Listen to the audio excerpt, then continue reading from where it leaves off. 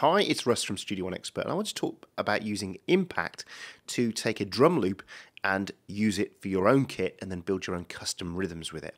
So I've got a drum loop here.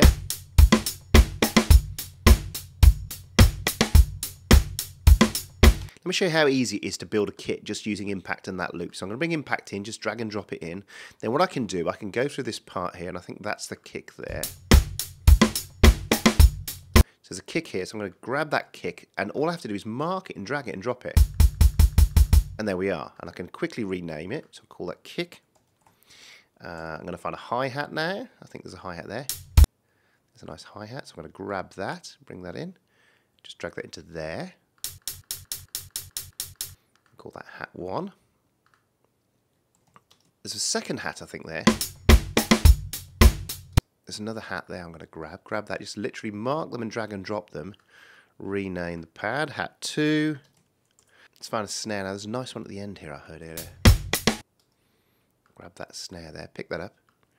And now I have snare, my basic stuff in. Now what I want to do then is I, I can come in and I can do things like come to that kick and I'm going to get the filter just pull it down a bit to lose some of that high. And let's hear the snare. The snare's nice. Now the hat's the opposite to the kick drum. I want to get some of the bottom out. So I'm going to come into the filters here and to go to a high pass. Go for a 24 dB high pass.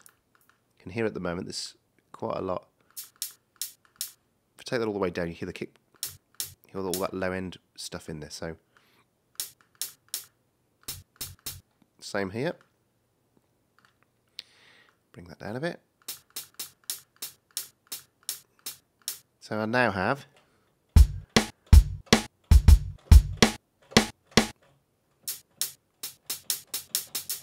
stuff. Now I could straight away, because that's on, a, on a, a, an instrument track, we can mute that, come in here, and we now have uh, a track. We can I could put that into loop mode.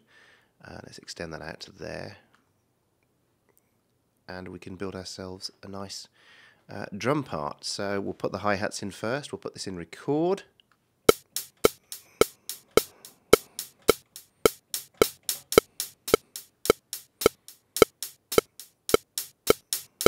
I've not got auto quantize on, I could put that on. I'll quantize it in a minute.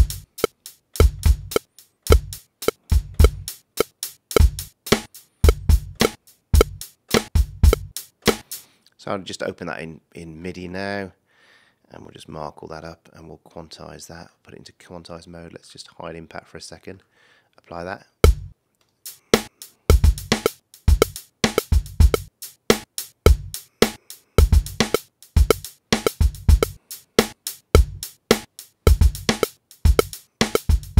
And so what I've done there now is I've taken uh, this loop, which originally started off as, as you can hear it here, that,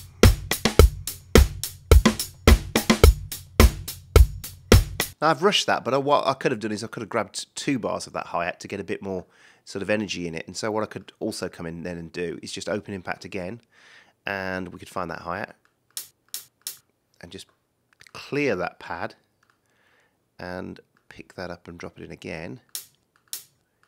We've got the ring as well now. Clear that pad too, and then pick that up and drag that as well.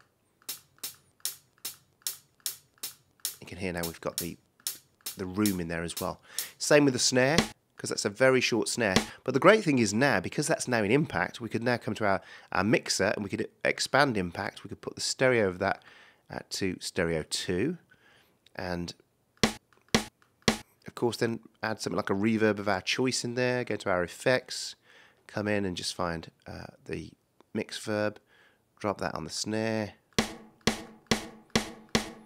and we've got ourselves uh, a kit we can do.